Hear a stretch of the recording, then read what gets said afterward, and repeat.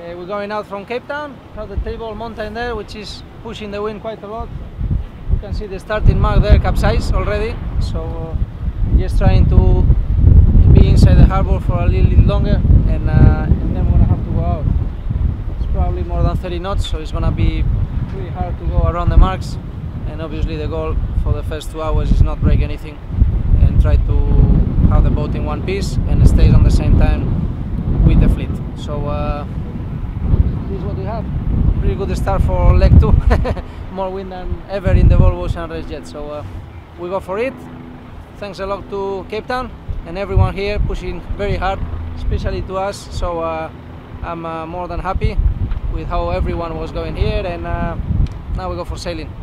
See you.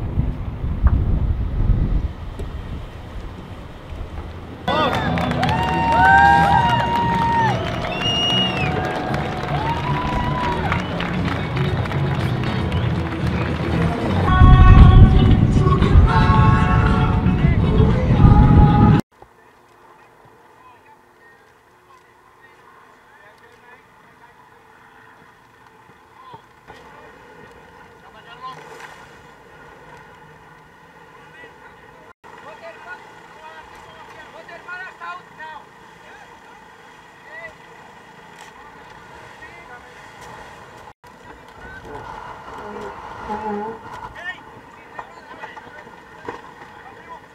you.